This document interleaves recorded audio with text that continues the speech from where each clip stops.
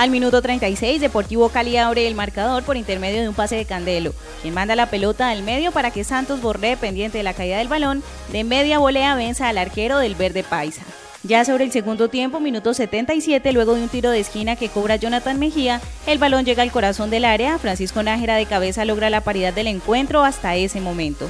Pero tres minutos después, tras un pase largo de Nasuti, el esférico llega a las manos del arquero, la pierde y Preciado aprovecha el error para mandar la pelota al fondo de la red.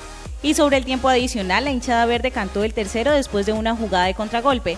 De nuevo aparece Preciado aprovechando el espacio de la defensa y desde fuera de la línea de pierna derecha decreta el 3 por 0 definitivo. De esta manera, Deportivo Cali ocupa una de las primeras casillas de la tabla con 20 unidades a un punto del líder Envigado.